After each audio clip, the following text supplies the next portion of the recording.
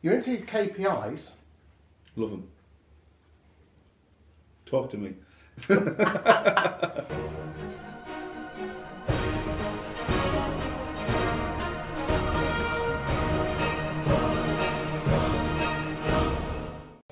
Why are key performance indicators? Yeah, yeah. Okay.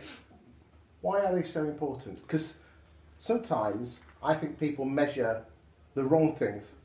Yeah, yeah, they do, they do, and that's that's the a very important part of KPIs is you need to measure stuff that can influence your business. Yes. So financial is a big thing. If you're not measuring, um, well, the, saying, the two sayings I love: if you can't measure, you can't manage, and if you're not keeping score, you're only practicing. So Vince Lombardi, the famous American football coach, said said that one. So by knowing your numbers, you're taking your business serious.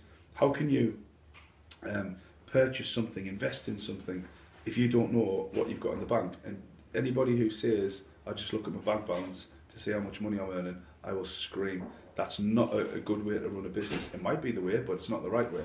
Um, so you know, KPIs are financial. We know what to the penny what each branch has made or lost, Yes. and operational as well.